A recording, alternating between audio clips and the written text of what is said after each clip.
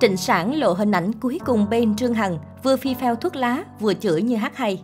Chuyện tình cảm của Trịnh Sản và Trương Hằng được đánh giá là thị phi bậc nhất sau biết hoa ngữ từ trước đến nay. Trong khi Trịnh Sản bị tố bỏ rơi con cái, trốn thuế, đạo đức tồi, thì Trương Hằng cũng bị bóc phốt là lừa đảo và lợi dụng bạn gái. Từng là couple cực hot của làng giải trí xứ Trung, tham gia sau truyền hình thực tế, hiện tại mối quan hệ của cặp đôi có thể nói là còn thua người dân nước lã. Sáng nay 18 tháng 5, Trang Sina đã tung những hình ảnh cuối cùng của Trịnh Sản ở bên Trương Hằng. Cặp đôi xuất hiện trên một con phố. Tuy nhiên, thay vì những hình ảnh lãng mạn, nữ diễn viên lại bị ghi lại cảnh gay gắt nạt nộ bạn trai, tay phì phèo điếu thuốc vô cùng phản cảm. Bình luận của cộng đồng mạng, diễn thì dở, con thì bỏ rơi, hình tượng ngọc nữ nhưng lại chửi bạn trai nhát hay thế kia. Số cuộc cô ta làm được gì tử tế chưa? Mối quan hệ của họ bây giờ còn thua người ngoài nữa. Trịnh Sản tranh chấp quyền nuôi con làm gì? Cô ta thậm chí còn không muốn tụi nhỏ ra đời cơ mà. Hình tượng ngọc nữ sụp đổ rồi, tôi muốn coi cô ta trở mình thế nào. Trịnh Sản và Angela Baby đều có vẻ ngoài thánh thiện và thích hút thuốc lá. Hiện tại, Trịnh Sản vẫn chưa có bất cứ động thái nào phản hồi về phán quyết của tòa án liên quan đến quyền nuôi con. Có nhiều ý kiến cho rằng rất có thể Trịnh Sản sẽ làm đơn kháng cáo, đòi lại quyền nuôi Luca và Luna. Tuy nhiên, hầu hết cư dân mạng đều ủng hộ việc Trương Hằng sẽ đảm nhận trách nhiệm nuôi con, bởi Trịnh Sản có rất nhiều vấn đề bê bối đằng sau, từ kinh tế cho tới sức khỏe tinh thần. Cũng trong hôm nay, Trịnh Sản tiếp tục bị tố làm việc thiếu trách nhiệm, đổ oan cho bạn diễn khiến netizen xứ Trung xôn xao.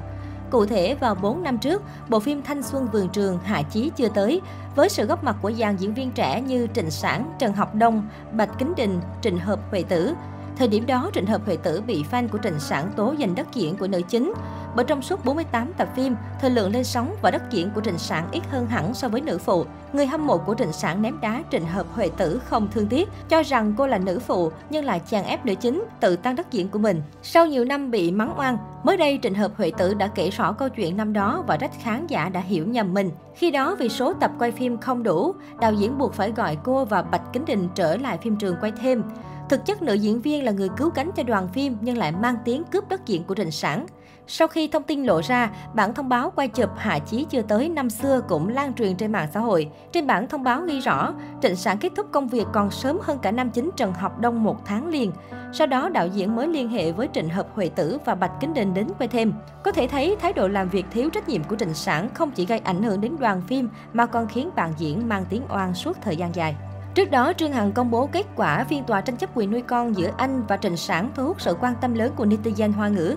Bên cạnh đó, nam CEO cũng gửi lời xin lỗi bố mẹ vì đã khiến họ phải tổn thương, thậm chí bán nhà để lo cho anh.